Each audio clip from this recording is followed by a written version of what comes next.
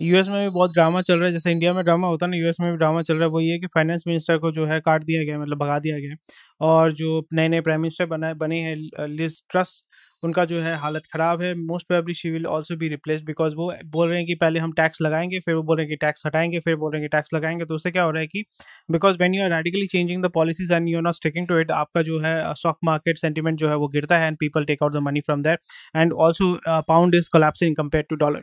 तो इस जगह पे every currency is actually collapsing because glow you know dollar is the global economy but मेरे को ग्लोबल करेंसी बट मेरे को ये समझ भी नहीं आता कि आपका ब्रिटिश ने अमेरिका में रूल किया अमेरिका पे रूल किया कनाडा पे रूल किया पूरे दुनिया में रूल किया why pound is not the standard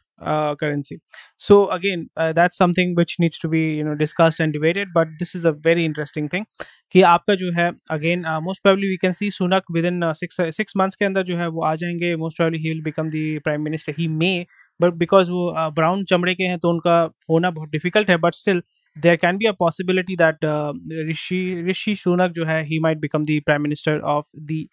UK